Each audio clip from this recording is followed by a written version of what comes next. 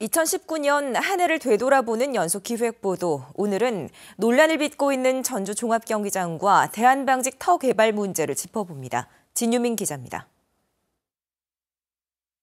지난 4월 종합경기장 개발 계획을 내놓은 전주시.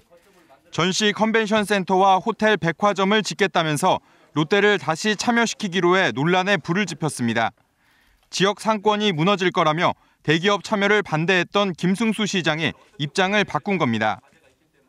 여러 가지 난관이 있었던 현실적 난관이 있었던 것은 사실이고 계약 해지 노력을 최선을 다했었는데 해지할 수 있는 권한 자체가 없기 때문에 거센 반발에도 사업 추진을 강행해 기본구상 용역 등의 관련 행정 절차가 현재 진행 중입니다. 아파트 3천 가구와 430m 타워, 쇼핑 시설 등을 짓는 전주 대한방직터 개발 구상도 지역의 뜨거운 감자입니다.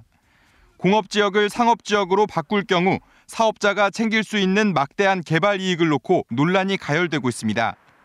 전주시는 시민들의 의견을 묻겠다며 공론화위원회를 추진하고 있지만 특혜 시비와 난개발 우려에도 정책 결정을 여론에 맡겨 갈등을 키우고 있다는 지적을 받고 있습니다.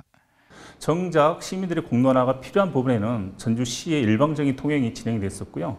그 다음에 실제 전주시의 소신행정과 책임행정이 구현돼야 할 우리 대한방직 부지는 공론화위원회라는 외피를 통해서 슬쩍 뒤에 숨는 뭐 지난해 지방선거를 치르고 해를 넘기자마자 수면 위로 떠오른 대규모 도심 개발. 원칙과 일관성 없는 행정 탓에 논란만 더 커지고 있습니다. KBS 뉴스 진유민입니다.